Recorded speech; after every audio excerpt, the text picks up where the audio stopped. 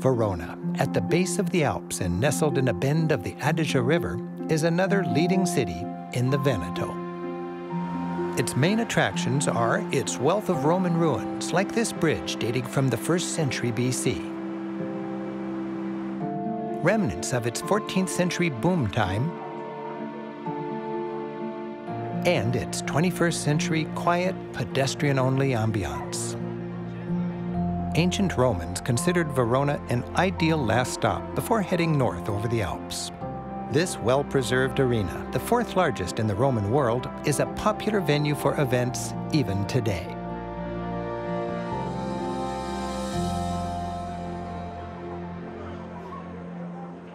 Over the centuries, crowds of up to 25,000 spectators have filled this place, cheering Roman gladiator battles, medieval executions, and modern plays, including Verona's popular Summer Opera Festival. Climb to the top and imagine the spectacles this arena has hosted for over 2,000 years.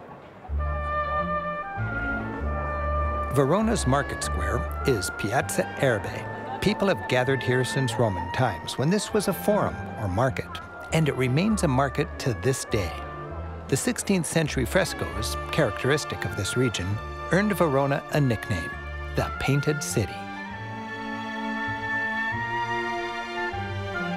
The Venetian lion has hovered over this square since 1405, when it reminded locals that they were ruled by Venice.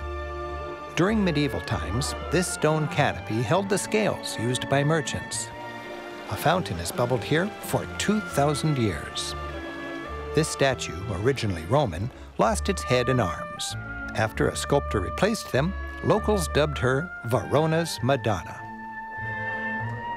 And what's with this whale's rib? It's been hanging here for four centuries, likely a souvenir brought home from the Orient by spice traders.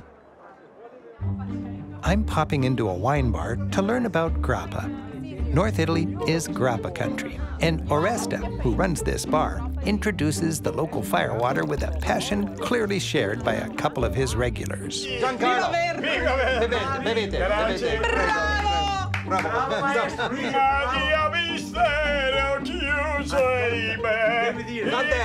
Oh yeah! Non saprà. Once she can break free of Giancarlo's perhaps over-friendly embrace, my friend Valeria helps translate Oreste's grappa wisdom.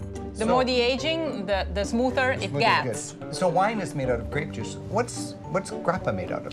Grappa is made out of seeds, skins, and stems of the wine. so Same it's wine. The, it's the leftover material after the wine process. Exactly, exactly. Extreme wine. Yes, yes. Do you like it? A little bit. Not too much. Not too much.